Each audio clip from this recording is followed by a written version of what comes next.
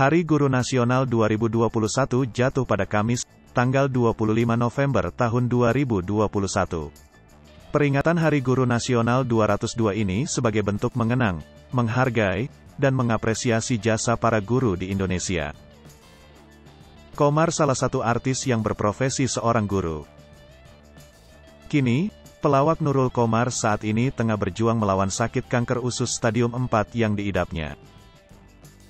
Pelawak yang tergabung dalam grup 4 sekawan itu mengungkap, salah satu faktor kuat kanker tersebut adalah genetik. Di sisi lain, Komar tak menampik ada pengaruh juga dari pola makannya selama ini. Selama menderita kanker, Komar mengaku sempat sulit bab selama sebulan. Kanker tersebut telah menggerogoti saluran pencernaan Komar hingga babnya terganggu. Meski begitu, Komar menganggap kanker adalah cobaan berat yang harus ia hadapi dalam hidupnya. Tak hanya untuk pengobatan dirinya, Komar juga berencana menyumbangkan sebagian hasil lelangnya untuk sebuah yayasan.